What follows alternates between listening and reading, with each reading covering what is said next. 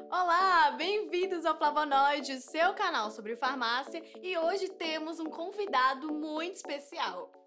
O Trypanosoma cruzi. Para quem não conhece, esse é o agente etiológico, ou seja, o causador da famosa doença de Chagas. E antes que me perguntem onde está o famoso primo Trypanosoma brucei, infelizmente ele não pôde estar aqui conosco. Ele está muito ocupado lá na África causando a doença do sono, o que tá tudo bem, né? Porque já basta o Trypanosoma cruzi aqui no Brasil. Cruzi, conta pra gente o que, que você gosta de fazer. Tengo gusto de causar reggaeton. Onde que fofo. O Trypanosoma gosta muito de reggaeton porque ele é um parasito latino-americano. A doença de Chagas é endêmica em 22 países aqui na América Latina, mas também ela pode ser encontrada em todos os outros continentes. O que acontece é que nesses outros continentes não tem o vetor. E nós vamos ver que as principais formas de transmissão precisam do vetor. Então pode entrar barbeiro. Como o barbeiro também gosta muito de reggaeton, ele só é encontrado aqui na América Latina. Por isso que nesses outros continentes a gente não tem tanto a doença de Chagas. Então vamos falar sobre a doença?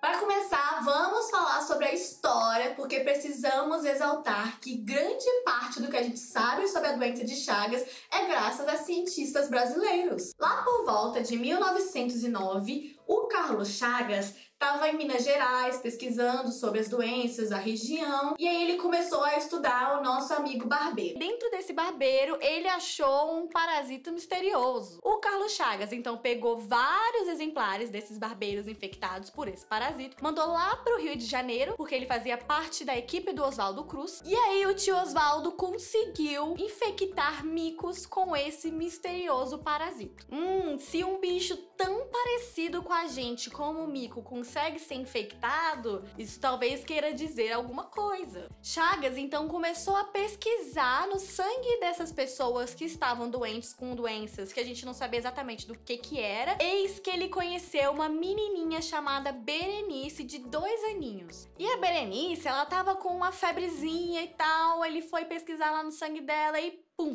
não é que ele achou o nosso amigo? E aí ele logo fez a associação, até porque a Berenice estava manifestando sintomas que os micos que foram infectados lá pelo Oswaldo Cruz, no Rio de Janeiro, também manifestaram. Então ele já fez a ligação. Chagas então batizou esse parasito misterioso como Trypanosoma cruzi, em homenagem ao Oswaldo Cruz. E a gente ficou conhecendo a doença como doença de Chagas. Vetor dessa doença eu já apresentei, é o nosso amigo barbeiro, que é um triatomínio. Existem, acho que mais de 100 espécies de triatomínio, mas só umas 15 estão relacionadas à doença de Chagas. Lá no exterior, eles são conhecidos como kissing bugs. Me conta, barbeiro, você dá beijinhos? No exactamente. Esse vetor tem o hábito de picar as pessoas à noite, porque ele tem essa vida noturna e principalmente no rosto, que é onde normalmente fica exposto, né? E aí por isso chama ele de kissing bug. Calcula-se que hoje a gente tem 6 milhões de pessoas infectadas pelo Trypanosoma cruzi no mundo, sendo que 1 milhão é só aqui no Brasil. Por ano morrem por volta de 12 mil pessoas. Só que a doença de Chagas, ela é muito dinâmica. Coisas vão acontecendo e a doença vai tendo algumas modificações. E algumas bem interessantes estão acontecendo. Uma delas é que essa doença deixou de ser estritamente da zona rural e passou também a acontecer na zona urbana. É muito comum a gente ver aquelas imagens das casinhas de barro, pau a pique, mas o barbeiro não tá se adaptando agora só a esse tipo de habitação. Devido ao desmatamento, ao êxodo rural, eles estão cada vez mais aparecendo em lugares que a gente nem imaginava. Apesar dessas novas características epidemiológicas, a doença de Chagas continua sim sendo muito presente na zona rural. E isso é consequência, gente, desde muito tempo, desde a época dos colonizadores, quando vieram atrás de madeira, de ouro, enfim. E aí começaram a construir habitações. Essas casinhas eram essas famosas casas de pau a pique, né, de barro. E o barbeiro, se sentindo ameaçado por ter invadido o, a casa deles, o habitat deles, foi morar na nossa casa. Foi morar nessas casinhas que ele encontrou lugares muito gostosinhos e quentinhos e perfeitos para ele poder ficar lá, inclusive morando junto com um animal que ele poderia se alimentar, que era o ser humano, então perfeito para ele. Só que esses dois aqui não gostam só de seres humanos. Também temos outros hospedeiros, tanto silvestres como domésticos. Aí tem o tatu, tamanduá, bicho preguiça, gambá, morcego, cão, gato, macaco, rato, coelho, enfim, vários. São no total sete espécies domésticas que podem ser parasitados e 71 espécies silvestres. Os mais importantes no ambiente silvestre é o tatu e o gambá e no ambiente doméstico os cães, os gatos e os ratos. Ou seja, a doença de Chagas é uma zoonose. Se você não sabe o que é zoonose, você tem que ver o vídeo que eu fiz de introdução à parasitologia, hein? Dá um pause nesse e vai lá assistir ele que eu te espero. A principal forma de transmissão na América Latina é por causa do barbeiro. Uma forma de transmissão é o barbeiro indo lá na pessoa, né? Normalmente ela tá dormindo porque é noite e pica ela. Ele já aproveita lá e faz o famoso cocô e xixi e a própria pessoa, sem perceber, né? Dormindo, você vai lá e coça, você nem percebe, e ela acaba arrastando pro buraquinho da picada esses dejetos. E aí o parasito consegue chegar na corrente sanguínea.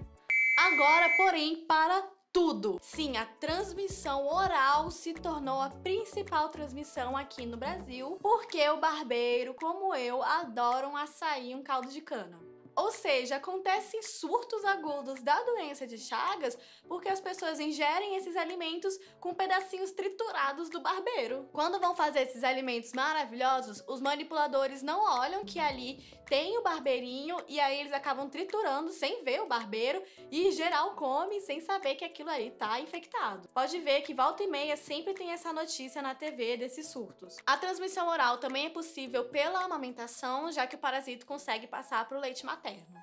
Mas esse neném também já pode nascer com a doença de Chagas se a mãe já tinha a doença antes da gravidez ou pegou durante, porque esse parasito consegue chegar na placenta e passar para o feto, ou seja, ele também passa por via congênita. Além disso, ele também pode ser transmitido por transfusão de sangue e por transplante. Alguns estudos também estão mostrando que pode ter essa transmissão via sexual, mas tem que haver uma exposição ao sangue nessa relação. E por fim, pode ser transmitido por acidentes em laboratório de pessoas que estavam estudando o nosso amigo Trypanosoma. Então agora vocês entenderam por que, que essa doença é endêmica só aqui na América Latina, né? Porque aqui tem as principais formas de transmissão, que é a oral e pela picada do barbeiro. Nos outros lugares não tem o barbeiro. Como qualquer outro parasito, o tripanossoma tem as suas fases de vida e ele vai mudando a sua forma de acordo com a fase. Nos hospedeiros definitivos, que nesse caso são os vertebrados, como nós seres humanos, a gente encontra o Trypanosoma cruzi na forma amastigota. Aquela forma redondinha, ela não tem um flagelo como as outras formas, porque ela é uma forma intracelular, ela fica dentro da célula só se reproduzindo, então não tem porque ela sair nadando por aí. Então ela é só um bichinho redondinho. Mas também dentro do hospedeiro definitivo, a gente encontra a forma tripomastigota, que é a forma extracelular, é a forma infectante e aí para infectar ele precisa dar a sua nadadinha, então ele tem já o flagelo. E por fim, a gente também tem uma terceira forma que é a epimastigota, e essa forma também se reproduz e também tem o flagelo, só que ele faz tudo isso lá no hospedeiro intermediário, ou seja, lá no nosso barbeiro. Na sua prova prática, muito provavelmente vai cair ou a forma epimastigota ou a tripomastigota, ou as duas. Por quê?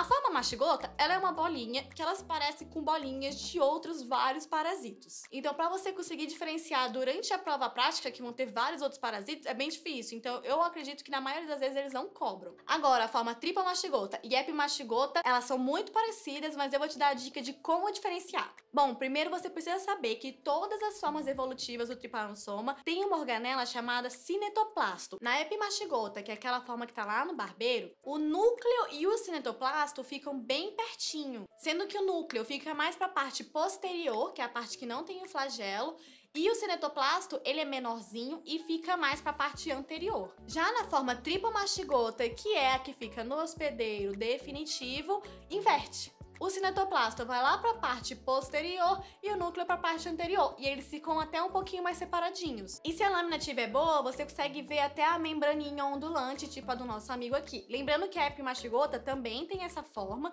mas na forma tripomastigota, a membraninha pega quase toda a extensão do corpinho do parasito.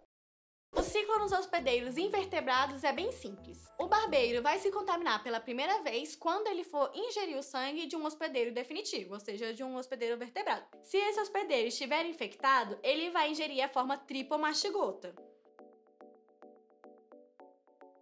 essa forma lá no estômago vai evoluir para a forma epimastigota. Porque nessa forma ele se adapta melhor a esse novo ambiente no hospedeiro invertebrado. Ele vai então se reproduzir, se multiplicar e vai passar lá pro reto do inseto. No reto, ele vai se diferenciar novamente para a forma tripomastigota e essa forma vai ficar prontinha ali, só esperando esse barbeiro se alimentar de novo. Porque aí, quando o barbeiro achar um novo hospedeiro, ele vai acabar defecando e urinando, e aí esse parasito consegue ter acesso à corrente sanguínea. Quando ele chegar na corrente sanguínea, ele já precisa estar preparado na forma tripomastigota. No ciclo do hospedeiro definitivo, a gente foi lá e coçou e o parasito entrou na nossa corrente sanguínea. Quando o parasito chega na nossa corrente sanguínea, ele vai procurar uma célula para poder parasitar, porque assim ele fica protegidinho lá dentro. E adivinha qual célula eles escolhem? De primeira, eles vão procurar as células do sistema mononuclear fagocitário. Isso mesmo, ele vai procurar os fagócitos. Pera, mas isso não faz sentido. Por que, que ele vai procurar logo a célula que é responsável por fagocitar patógenos e destruir? O Trypanosoma cruzi, ou ele é muito burro ou ele é muito inteligente. Quando o parasito é fagocitado, ele fica preso dentro de um vacúolo fagocitário.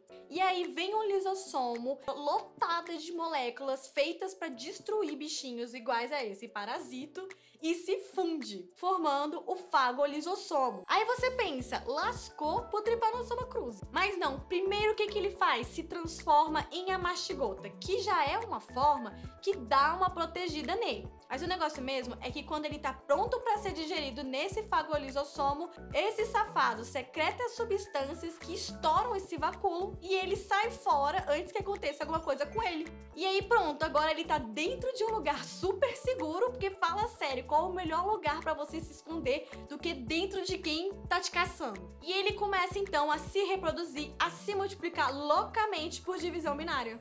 Quando já tem muito dessas amastigotas, eles se diferenciam para tripomastigotas, que então se libertam dessas células e vão cair na corrente sanguínea, se espalhando para vários tecidos, procurando novas células para parasitar. Aí o Trypanosoma cruzi já não precisa mais procurar só por células fagocitárias, ele pode entrar em outros tecidos, tipo em células epiteliais, em células musculares, em células nervosas. Se acontecer desse hospedeiro ser picado novamente por um barbeiro, essas formas tripomastigotas vão ser ingeridas, assim o ciclo continua fechadinho. Nesse início, a gente tem muito parasito ali na corrente sanguínea, porque o sistema imune ainda não teve tempo de se adaptar e poder combatê-lo. Então, a gente vai ver em diagnóstico que essa fase é a melhor fase para você diagnosticar. E aí, quando a doença progride e vai para a fase crônica, o nosso sistema imunológico já respondeu e aí você tem menos parasitos na corrente sanguínea, mas o nosso sistema imune não consegue erradicar. Então, é muito mais difícil o diagnóstico, mas a pessoa continua doente.